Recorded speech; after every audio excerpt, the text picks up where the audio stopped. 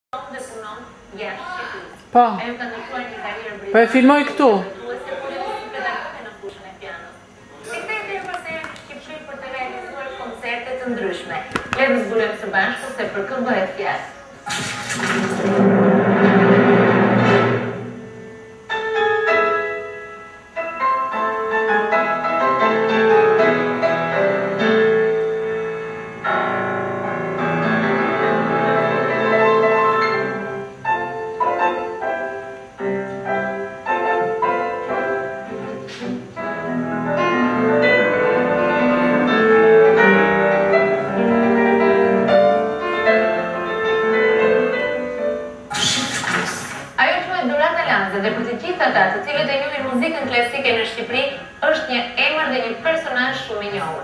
Prej gati njëzet vitesh jeton në Itali ku ka ndërtuar një karrierë brilante artistike si pianiste por edhe si pedagoge.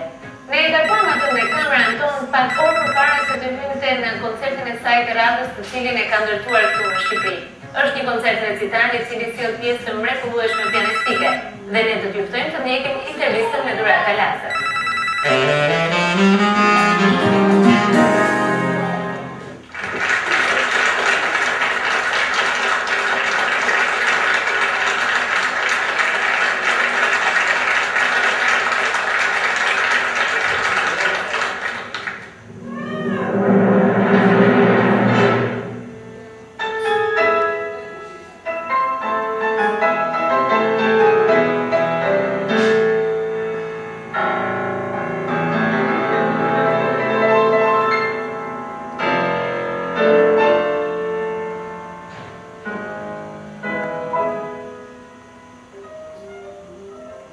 Dhurata mirëseerdhe në Tiranë për herë të dytë menjëherë pas kur ka kaluar vetëm një vit nga një koncert recital i cili ju riktheu pas 18 vitesh mungesë dhe një suksesi po në të njëjtën skenë këtu në Akademinë e Arteve. Këtë herë ky koncert do të ketë përmasa të tjera, ai do të jetë shumë më i madh, do të ketë një orkestër shumë të madhe, një dirigjent shumë të njohur i cili vjen nga përtej kufijve. A mund të na zbuloni diçka më tepër rreth këtij koncerti dhe kësaj vazhdimësie rikthimi në skenën tonë. Ju faleminderit për mirëpritjen, për ftesën. Unë jam shumë e emocionuar sepse pikërisht në këtë sallë ku do të luaj tash jam diplomuar, në vitin një mijë e nëntëqind e nëntëdhjetë kam marrë titullin pianiste dhe kam kujtimet e mia të njëzet e dy vjetëve që kam jetuar në Shqipëri. Kur erdhëm dje për herë të parë se dhe bashkëshortin e kam muzikant, saksofonist, oboist, kur erdhëm Bëmë një recital dhe u pritëm jashtë mase mirë. Dhe pastaj pata një ftesë nga Radio Televizioni të luaja në sezonin e tyre koncertar.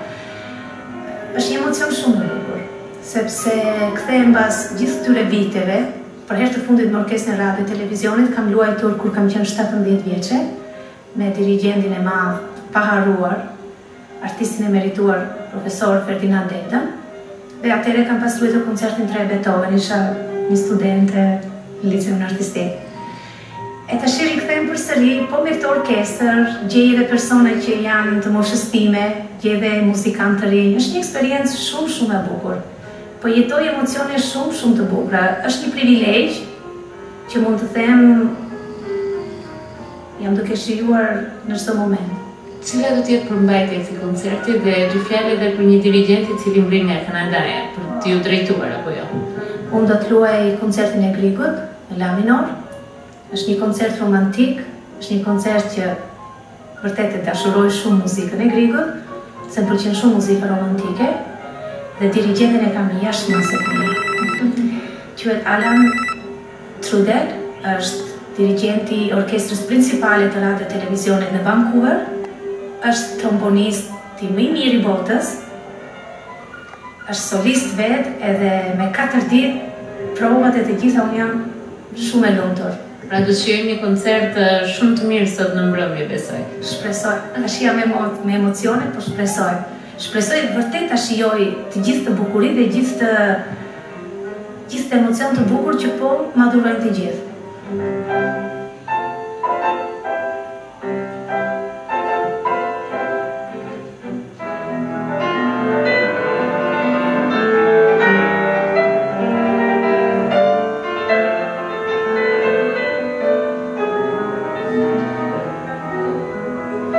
Ju kujtuat paksa një moment nga rinia juaj dhe pikërisht nga interpretimet përkrah Dirigjentëve shumë të njohur siç ishte zoti Deda.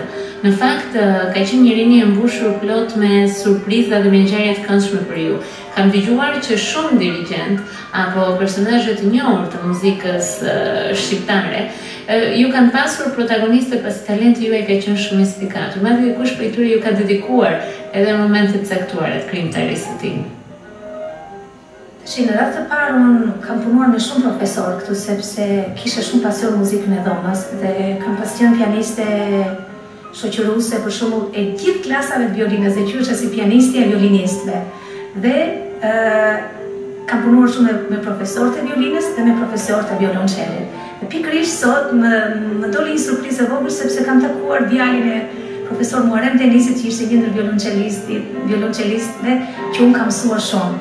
Gëzim Laro sigurisht, gjithë Unë kam kujtime shumë të mira se kam punuar me me dirigjentë të tjerë si Fiqiri Kraja, Artan Liçaj, Edhe me shumë profesorë, domethënë jo vetëm profesoreshat e mia të pianos si zonja e nderuar artiste e merituar Anita Tartari më ka dhënë shumë, por edhe me profesorë të tjerë kam punuar dhe kam mësuar nga muzika e dhomës. Domethënë kjo është një rrjedhshmëri. E një shkolle të mirë që kam patur këtu. Kur shkova në Itali, aty bëra shumë kurse perfeksionimi dhe u futa në një shkollë polake. Studiova mbi 6-7 vjet, nuk më kujtohet tani më ekzaktësisht. Dhe më pëlqeu shumë ajo shkollë. Kemi një Përkushtim ndaj punës tuaj shumë të gjatë dhe në Itali ku bëhen gati rreth njëzet vite që ju jetoni dhe ku jeni shumë e angazhuar në punën tuaj si soliste me me koncerte recitale por edhe në mësimdhënie apo jo jeni dhe mësuese? Po, jap mësim dhe kam studentë të moshave shumë të ndryshme ku dhe ato i aktivizoj në koncert me mua me muzikë dhome me muzikë me katër duar me muzikë me gjashtë duar në një piano Por bëj dhe shumë koncerte recitale.